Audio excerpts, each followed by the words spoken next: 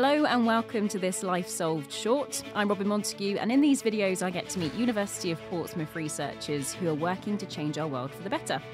This time, I'm joined by Professor Richard Teeuw, a geomorphologist and remote sensing scientist here in the School of Environment, Geography and Geosciences.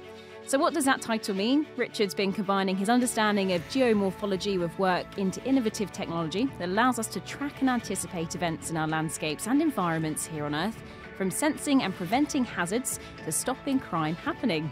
Today, Richard's going to tell me a little bit more about his current work to help solve some really big global environmental challenges and protect human life too, thanks to satellite technology. Richard, it's great to have you on the show. Thank you for joining me.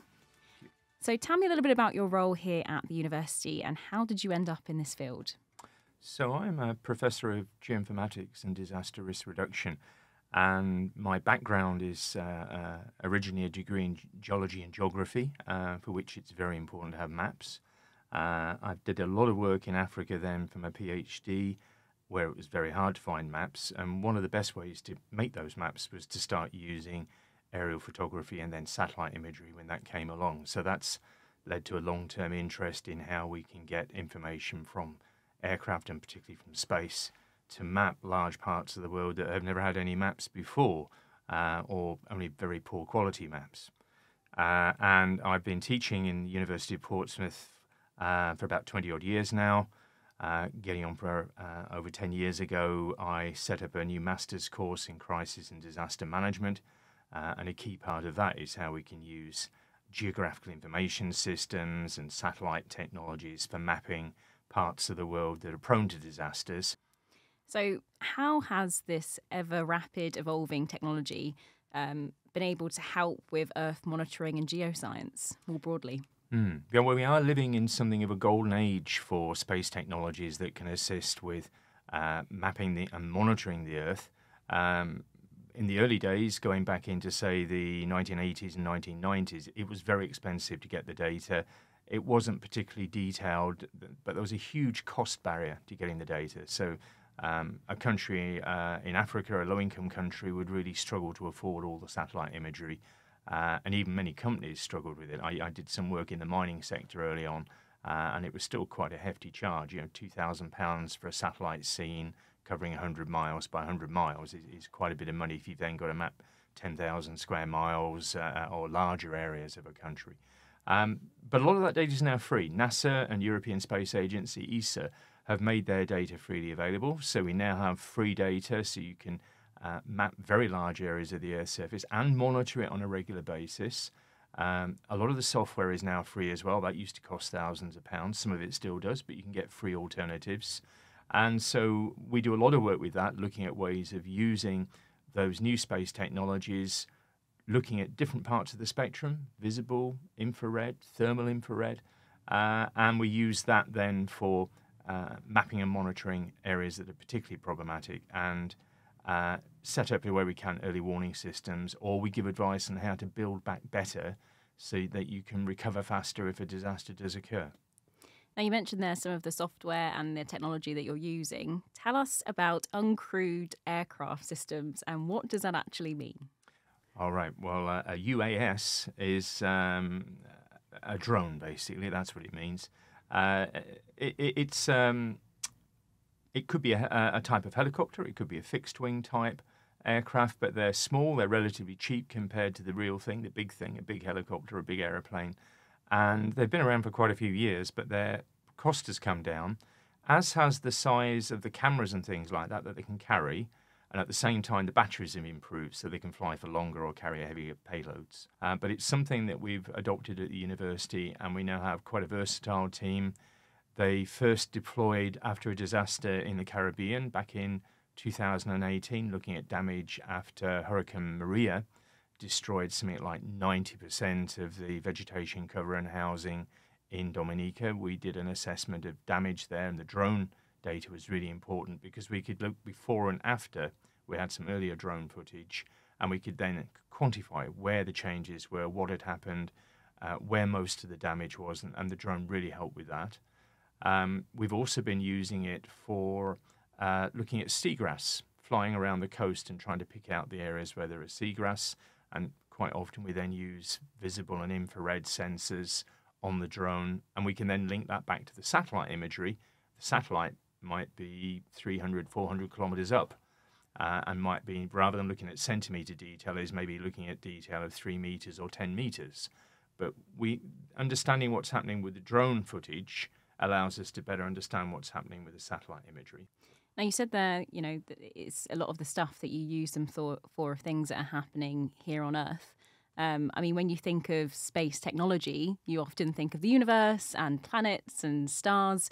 But what you're telling us here is that this technology can be used to help us here on Earth. Yeah, well, that's a, a, a, specialist branch, if you want, of the space technology called Earth observation, or EO. Uh, and looking down at the Earth using various sensors uh, from the thermal through into the infrared, uh, maybe going as far as the thermal infrared and into um, microwave radiation, uh, which is a type of radar. Um, all of those can be used to then look down at the surface of the Earth, and they, they all detect different features. Uh, the radar, for instance, is really useful because it will see through cloud cover. So we've been using a, a, combination of different sensors on satellites, some of them in what we call visible wavelengths, to monitor illegal activities in Colombia for um, illegal gold mining. But it's in an area of rainforest. Uh, very bad for the rainforest. It's, it's a type of ecocide that's going on there because of the, the stampede to get gold out and the devastation caused. But because it's rainforest and often cloudy, it's very hard for us to see what's happening using satellite, standard satellite imagery. Um, we just see the top of the cloud. Every now and then you get a break in the cloud, and you might then be able to understand what's happening down on the ground, but it is quite difficult. Whereas if you use radar satellite remote sensing, the radar will see through the cloud. And then we can see quite clearly what's happening on the ground. We can see where the rainforest is, we can see where it's being chopped down, we can see the metal of the mining equipment that goes into the areas to get the gold out. And after they've dug the gold out on floodplain or whatever and the area floods, we can say, well, this is now water where it used to be rainforest.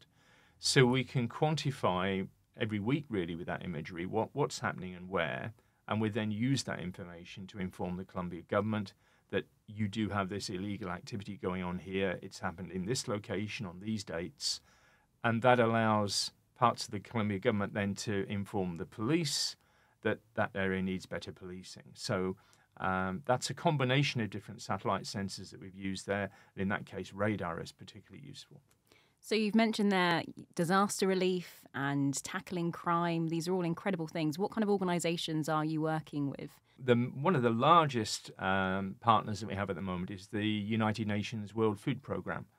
Uh, and we've been working with them on the uh, drones, UAS, uh, and they're particularly interested in making more use of drones because when there's a disaster, and they're thinking particularly of areas like uh, Madagascar or Mozambique, where cyclones are hitting every year, it's it's a big problem down there, uh, and large areas get flooded. They've got maybe a thousand kilometres of coastline, and it's pretty flat there, so vast areas are flooded.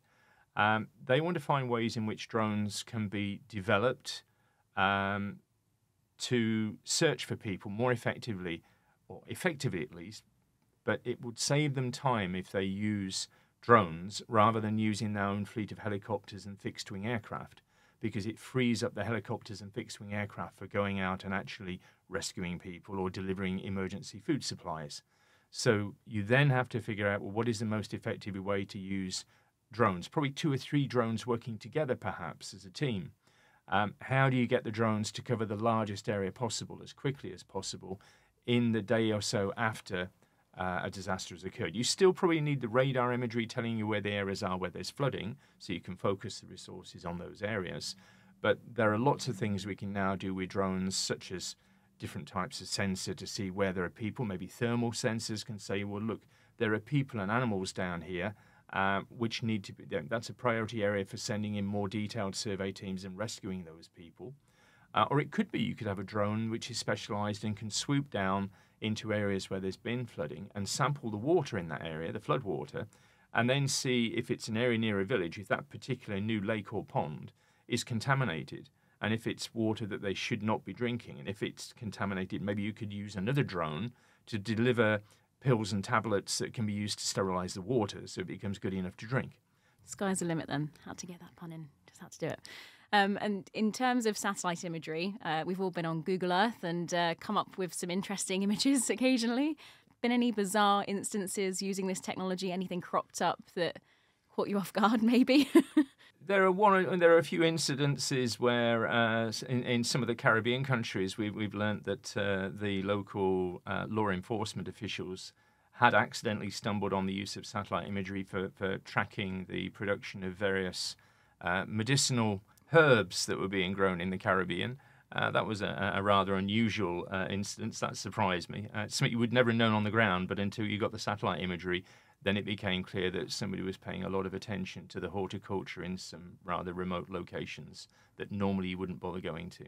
Thank you so much, Richard, for coming on the show today. Much appreciated. I hope you enjoyed that little taster of the kind of innovative work that's underway to help us better predict and prevent dramatic or disastrous events here on Earth. That's just one example of how the University of Portsmouth research is helping change our world for the better. If you want to delve into the full interview, go to the website where you can find links to listen to the Life Solved podcast. You can click the link in the comments box below or head to port.ac.uk forward slash research. See you again next time.